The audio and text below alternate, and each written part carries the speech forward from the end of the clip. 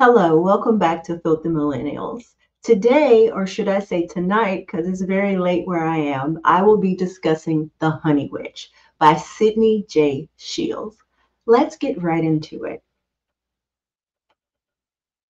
This is a debut novel, a fantasy romance, not too long, about 342 pages, that includes a sapphic romance.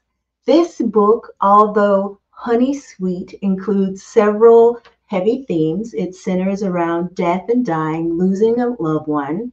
It also deals with infertility, loss of a pregnancy. There are violent scenes, including kidnapping and torture.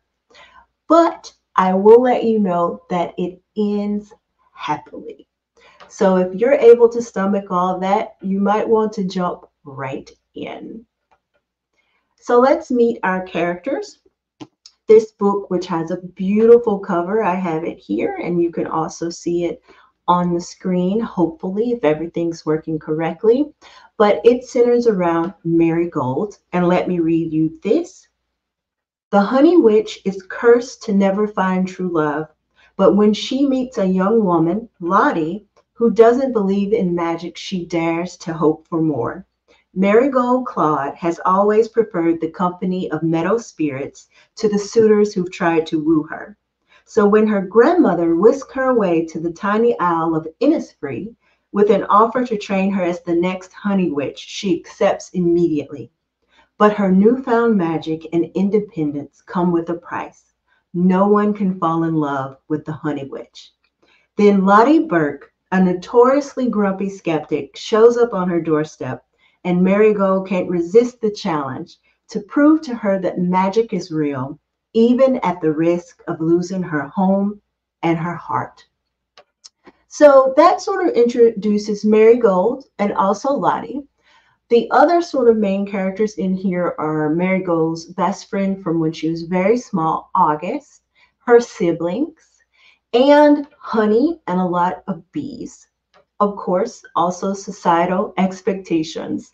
This is set in a sort of AU Regency world where there's no homophobia. There are many relationships showcased in this book lesbian, bisexual, gay, uh, asexual to some extent, whether that's by choice or circumstance. And so I feel like the representation is quite apparent. I will say for a novel that is a romance that ends happily, there is a lot of violence. There's a lot of death and dying.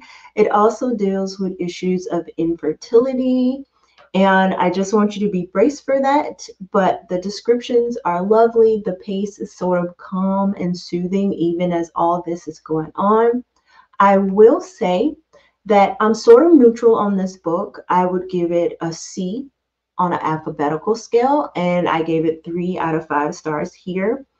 I didn't love it. I didn't hate it. I read it. That's what I would say to you. So, sort of neutral.